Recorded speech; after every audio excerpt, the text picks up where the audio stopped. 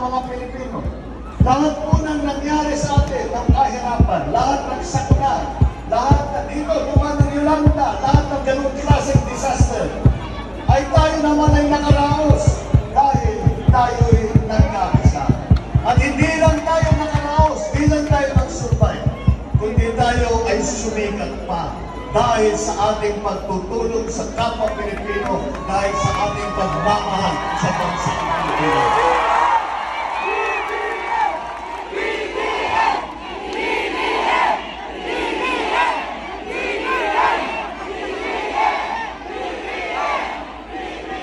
Alam naman po natin na marami po tayong hinaharap na problema na dinala ng pandemya. Nandiyan pa rin ang pandemya, hindi pa natin natapos. Kailangan patuloy pa natin ang ating pagbakuna, pati na hanggang sa mga bata, para matapos na yan, makabalik na sa trabaho. Yung mga maliliit na negosyo na nagsara, kailangan natin tulungan at magbukas ulit para magkaroon ang trabaho ng mga kababayan. Yung agrikultura natin, pagandahin natin para sapat ang pagkain at trabaho ulit. At ang mga tourist, tourist uh, industry, kailangan pagandahin natin. Dahil alam naman natin, napakaganda ng Pilipino at napakaganda ng Pilipinas at higit pa doon, napakaganda ng mga Pilipino. Yan po, ay tutuloy po namin ang sinimulan ni Pangulong Duterte na infrastructure program na Build, Build, Build. Palalawagin pa natin, isasama na natin dyan ang ating digital infrastructure o yung internet natin. Para maging mas mabilis, maging, maging mas malawak, maging mas mura. Dahil naging importante na sa buhay natin ng internet. At ang susunod na administrasyon ay kailangan na kailangan na makahanap ng paraan na bawasan ang singil ng kuryente para hindi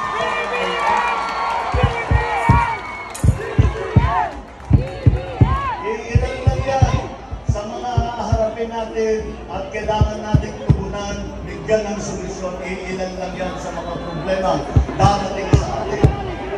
At alam naman po natin, ang isang tao, kahit gaano kagaling, kahit gaano kasipag, kahit gaano ang pagmahal sa Pilipinas at sa kapwa Pilipino, siya ay isang tao naman.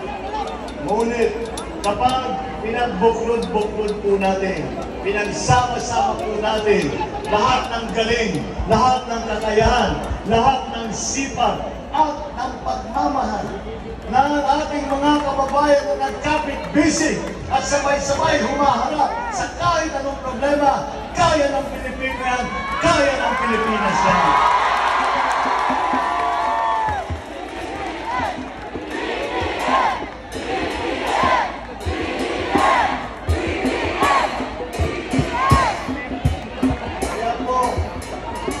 Pinapagpatuloy po natin itong ating pinaglalaban na kilusan ng pagkakaisa.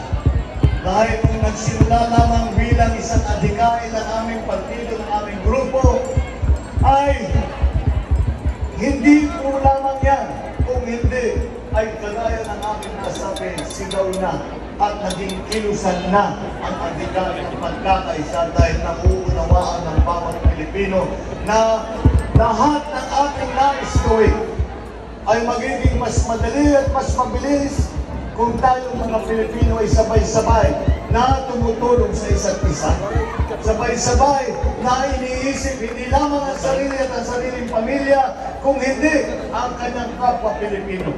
Pagka ganun po ang nangyari, mararamdaman po natin sa tulong natin ay magiging mas maganda ang buhay ng bawat mamamayang Pilipino. Anong body ko? At sana dumating na ang araw na masasabi natin na mga Pilipino ay may trabaho na naman. May pera na naman sa isa para ipakain ang kanilang pamilya, para ipag-aral ang kanilang mga anak. At bukod pa sa lahat, bukod pa sa lahat, ang mga Pilipino tayo po ay magkaroon muli ng pag-asa na ang kinabukasan natin ay magiging mas maganda kaysa sa pinagdaan sa dalawang taon. Sa atin, nasa kamay natin na ayusin at tugunan at bigyan ng solusyon itong mga problema. Nasa kamay natin ang pagtulong, ang pagpaganda ng buhay ng ating kapwa Pilipino.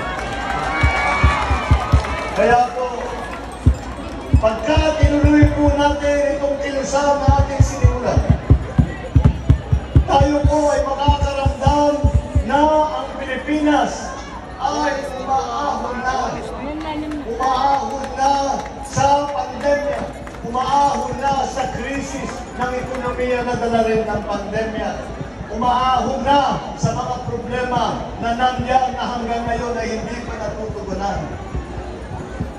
At pagka nangyari yun, at dumating ang araw na yan na masasabi natin, eto na ang araw, eto na ang pagkakaisa. At masasabi natin, ipinagkaisa natin ang isang bayan ng Pilipinas, eh tayo po ay haharap sa buong mundo. Tayo ay magmamalaki. At sasabihin natin sa ating mga kaibigan na dayuhan, tignan nyo kami mga Pilipino. Dahil anong ipatuloy nyo sa amin, kaya namin yan dahil kami ay magkasama, kami ay magtutulungan, kami ay nagkakaisa.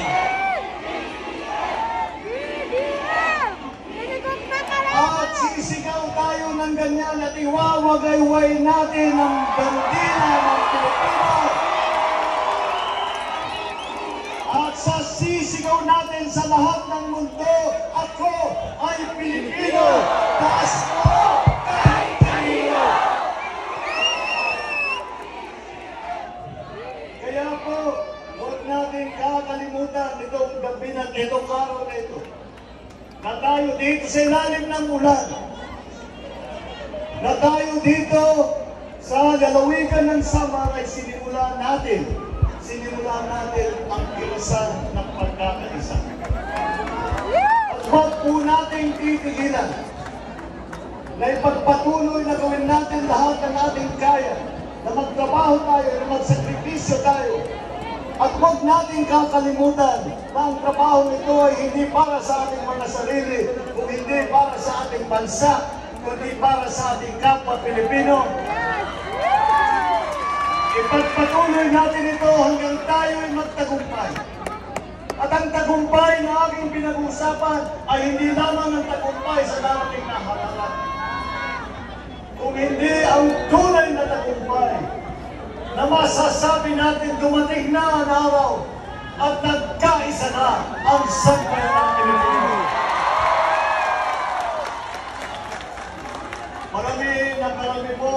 nagsasabing pwersa na dito sa ating kilusan. Dumadami na ang Pilipino nakakaunawa na yan ang pangangailangan sa panahon ito.